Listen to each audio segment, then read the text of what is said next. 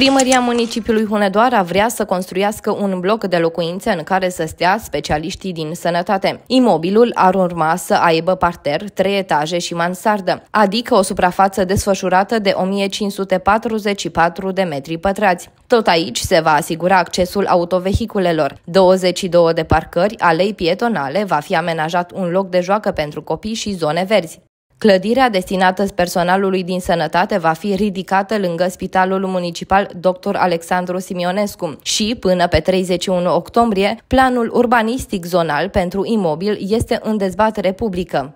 Primăria municipiului Hunedoara a început demersurile legale pentru construirea acestui bloc destinat specialiștilor din sănătate. Primarul Dan Bobouțanu spunând că Dorim să atragem cât mai mulți specialiști în sănătate la Hunedoara. La ora actuală, spitalul municipal le oferă medicilor condiții de lucru la standarde foarte bune, apropiate de cele ale unor clinici universitare, cred eu. Dacă am putea să le oferim tinerilor medici și locuințe la standarde actuale, suntem convinși că o astfel de facilitate ar conta mult în alegerea făcută de aceștia. Este altceva când te prezinți în fața unui tânăr medic și spui că, pe lângă un spital bine pus la punct, îi oferi și o locuință.